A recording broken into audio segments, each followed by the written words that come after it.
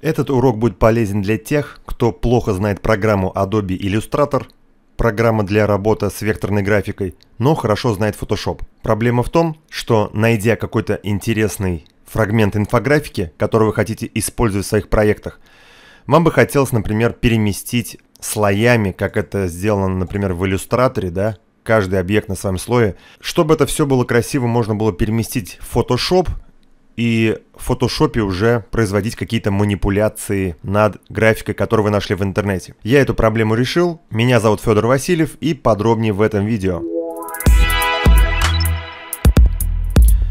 Итак, почему я записываю этот урок? Потому что я думаю, многим будет он полезен. Я сам столкнулся с такой проблемой уже давно, но все откладывал в долгий ящик.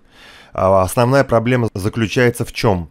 Если мы с вами найдем какой-то вектор, например, вот сейчас картинка, да, перед вами, и просто сделаем экспорт из программы Adobe Illustrator Photoshop, это файл, экспорт, экспортировать, как?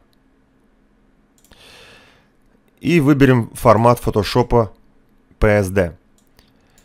После этого сохраним это на компьютер и откроем данный файл через Photoshop. У нас вся вот эта картинка, она будет а, в одном слое. Мы не сможем ее редактировать. То есть, например, отделить задний фон. Вот если я сейчас вот здесь вот по глазику кликну, то у нас задний фон, вы видите, он, он исчезает. И мы можем получить вот эти элементы на прозрачном фоне. То есть в итоге мы можем, например, получить а, вот этот вектор в формате PNG. Но эта информация только для тех, кто знает плохо иллюстратор и не хочет в нем разбираться и хочет это вот все дело перенести в Photoshop.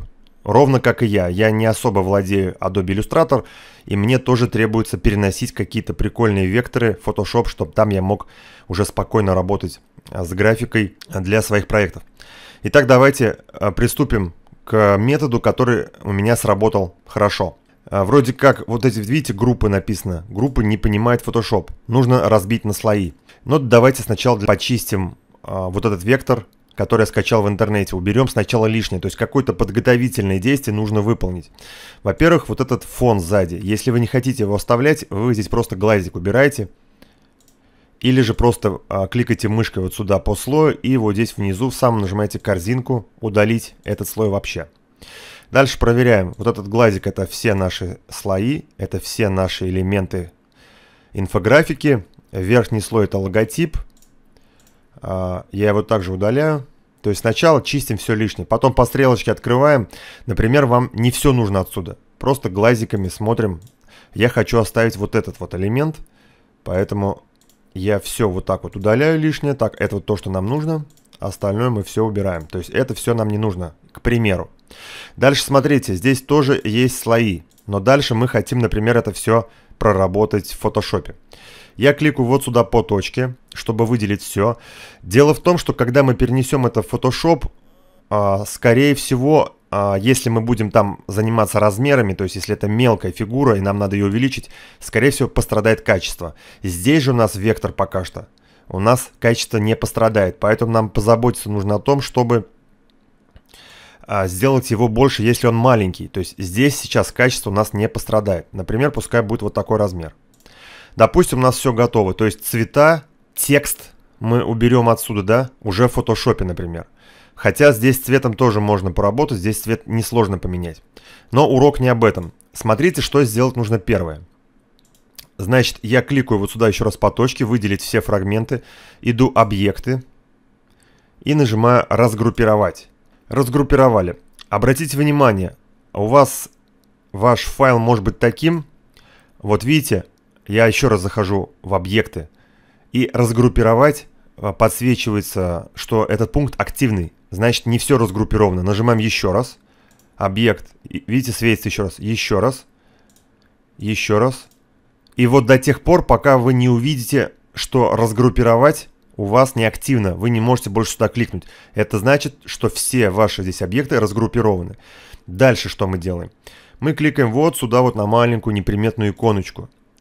И выпадающем меню, если у вас вот здесь вот активно распределить по слоям, упорядочить, то вы здесь это нажимаете. У меня это не активно, поэтому я это не применяю. В принципе, все. Дальше мы делаем файл, экспорт, экспорт как. Здесь вы выбираете формат PSD Photoshop. Как-нибудь назовем. Тест, наш документ. Здесь можно не ставить галочку «Использовать в монтажной области». Нажимаем «Экспорт». В этом окне здесь оставляем RGB, здесь тоже все оставляем. Обязательно ставим галочку «Сохранить слои». Эти две галочки мы оставляем. Здесь, в принципе, можем поставить «Нет». Здесь галочку можем снять. Ну, у меня вот такие вот значения. Я нажимаю «Ок». Идет экспорт. Все, экспорт произошел. Теперь давайте проверим наш файл. Вот на рабочем столе файл тест. Я кликаю по нему два раза левой кнопкой мыши, и у меня откроется Photoshop. Файл открылся у меня в фотошопе. И обратите внимание вот сюда Photoshop на слои. Вы видите папочка, видите галочку, что у нас практически все по слоям.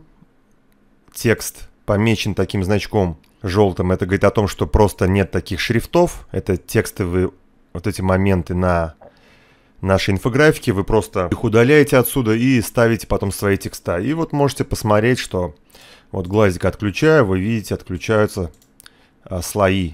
Там даже тень отключается и так далее. То есть очень полезный момент. Мне очень это помогает. Я также в YouTube сначала посмотрел несколько уроков на русском языке. Мне варианты эти не подошли, у меня не получилось разбить по слоям. Возможно, мой метод вам подойдет. На этом урок закончен и увидимся в следующих видео.